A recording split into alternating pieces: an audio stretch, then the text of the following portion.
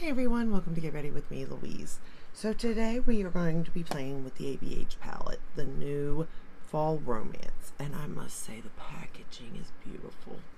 It really is. It's back to the velvet touch. It's a pretty purple, like, it screams fall. It does. It really does scream fall romance.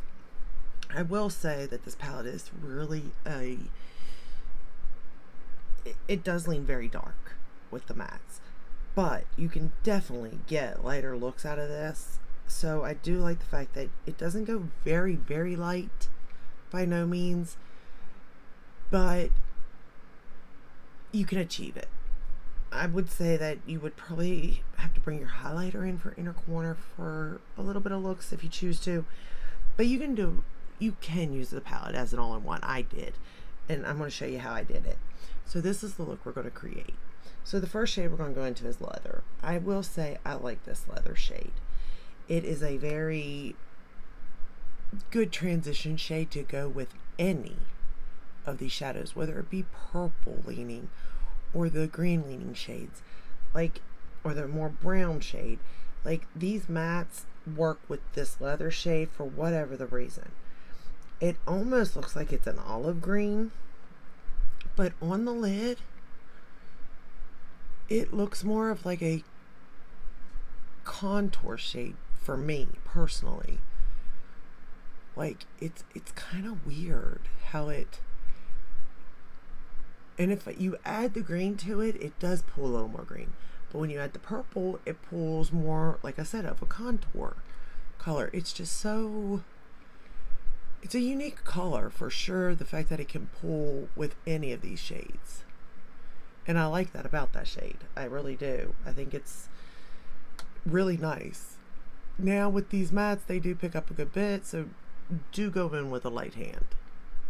I will say that, and you'll see that in just a second on what happens. We're going to run that same shade under the lower lash line because I picked up the uh, that's leather. I picked up crimson and oh my goodness, did a lot come on it. On the brush, I tapped that bad boy off because I already knew. Like, mm-mm.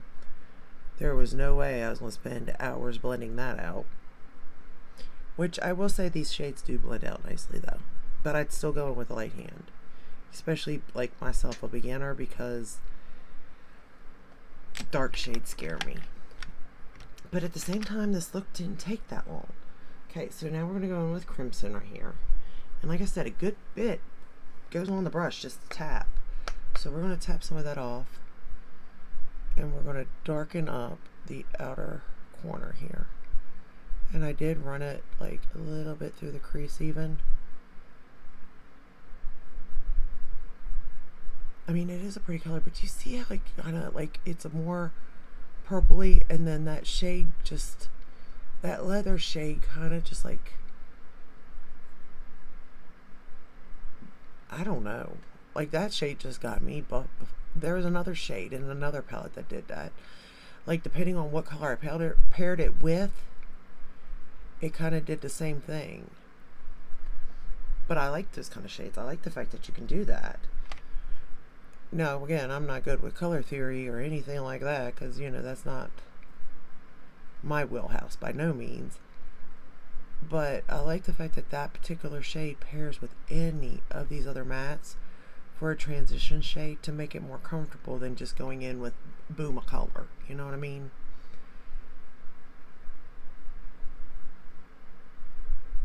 And I like the contour shades in there because playing with blues where I'm not a big fan of blues I realized that I really do like blue if it has a contour shade in the palette to kind of pair with it to make myself more comfortable applying the blue. So with that, I've learned that I do like it like that. We're going to take that crimson shade again and run it under the lower lash line, but right up on that lash line. Again, I'm using the Tarte Fake Awake in my waterline. And my nail polish today I think goes with this look really well. I just bought this. It's um I've really been liking this line too. It's LA Colors. It's the Gel Extreme Shine. And this is in the shade Tea Time. I've really been liking that. I don't know. At least that line of LA Color. And it lasts mm, relatively okay. I mean, I do dishes every day, so no nail polish, let's be real, is going to last through dishes. But, and cooking and all that, so. Now we're going to take this shade Midnight, and it is fairly dark. I won't lie. But I like the shade because we're going to put it more dark on the outer here and then blend it in. And it does kind of like, the color kind of fades a little bit. Not much, but a little. But I do like it because if you wanted to go very dark, you can see that I did add a little bit of light into the middle of this one where this one ain't got it yet. It just looks really dark. But, you know, sometimes you want that kind of look. I don't, but some people do. But I do like it when you put the one shade over top of it, right in the middle of the lid to give it a little bit of light. That's how I like to do my looks personally. I just like brightness, you know, something. I can go a little dark. And you could just put this towards the outer portion and grab a different shade and apply it to the inner portion even if you wanted to. But I kind of was going with a little bit more of a darker look because I don't ever do darker looks really like this because they do scare me. But applying it this way, and look how much I shadow like just blend it nicely on the lid too. Like, that really has a good bit of payoff on it. I barely touched the brush in it. Although this is a really good brush. It's one of my favorites by Rephr too, so that could be it. Now we're going to take this shade Moonlight right here. And I'm going to pop it in the inner corner here to give a little bit of brightness. And again, this is where I'm talking about. You do have brightness in this palette. That does, you know, give you a little bit of light back into the look. And, um, and I like this brush for this too. And then I think I even took it, I did, I took it a little bit in like that, just to give a little bit of light. Yep. Okay, then I took my finger and picked up that same shade Moonlight, and I just, you know, picked it up a little bit, and I'm going to pop it right in the center of the lid.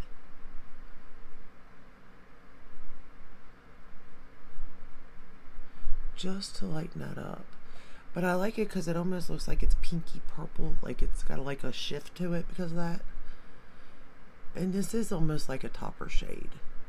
I would consider this a topper shade really, but I don't know what they consider it as. But I do like it right in the middle like that with that darker color because it just tones it down a little bit, makes it more comfortable for myself to wear. Now I'm going to take that crimson shade and we're going to line the upper lash line with it. And you could also line with like a, um, the twilight shade even. It's like a gray black shade. It's really pretty. Uh, is it though? Yeah, it is. It's like a charcoal. Well, it's darker than charcoal though. I know one thing, these shadows have got pigment though. That is 100% sure.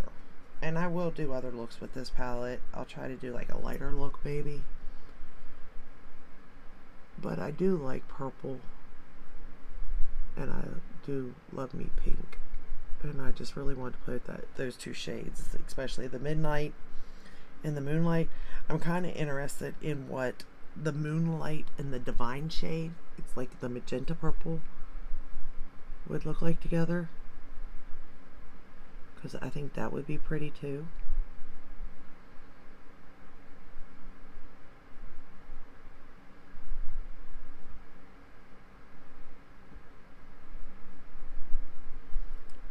I didn't get, no, I didn't get any fallout, which is kind of, you know, that's a good thing. Good thing there. I'm using all Rephr brushes today. Pulled out the big guns. Alright, so then all I did was I picked up my Gucci mascara and applied it to the top lashes.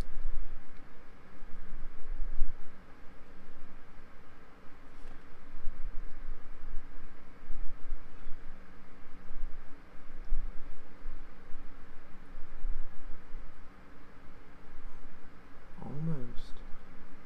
Oh, I did it. I messed up. I knew it was about to happen. It was bound to. Wouldn't be a makeup look if I didn't mess up with mascara, right?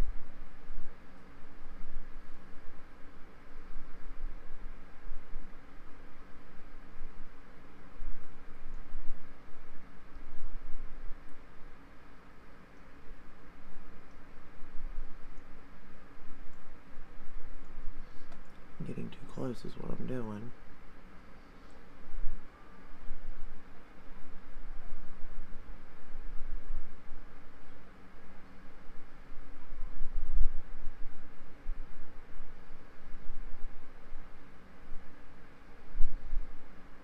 I love the tip of this Gucci mascara too. It really just gets in there and separates and all sorts of stuff. I really, really love that tip. And then for bottom lashes, I'm going to go into my MAC Extended Play Giga Black. Mascara. And then I'll clean up that mess in a minute that I created because Um, I might be creating it up there too. I just hit the top lash line, I think.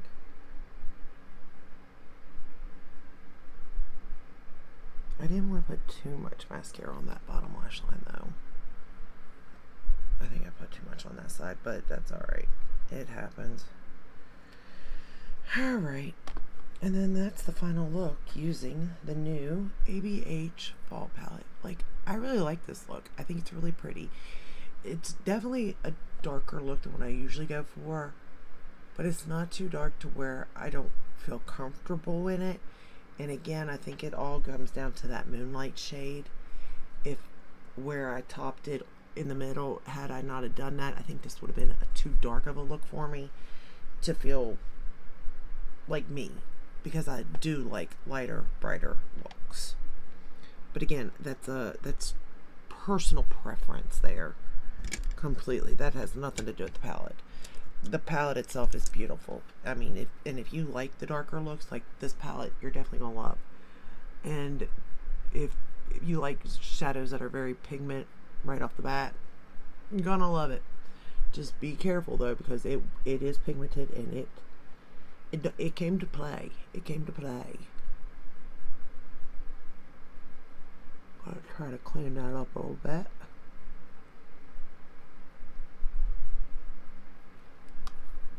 Luckily it comes right off. I didn't get any, well, did I get fall out? No, no, I didn't get any fall out. That's all mascara. Thank you, mascara. Me and my mess ups with mascara. You gotta love that. But yeah, overall, I like this palette. You'll have to maneuver it a little bit when it comes to the darker shades. That's it. Um, if you want if you don't want them as dark just go in with a little bit. And then it's not as dark as you think it's going to be really. It, you you definitely can maneuver this palette for lighter shades if you want that kind of look. But if you want that deep dark saturated color payoff looks this is your girl. This is your palette. And i have seen reviews not of the palette but of like comparison and I do kind of think the Dark Edit palette from Viseart is really, really close when it comes to the mattes, of course. And maybe one, maybe two of the shimmer metallic shades could be close, but for sure the mattes.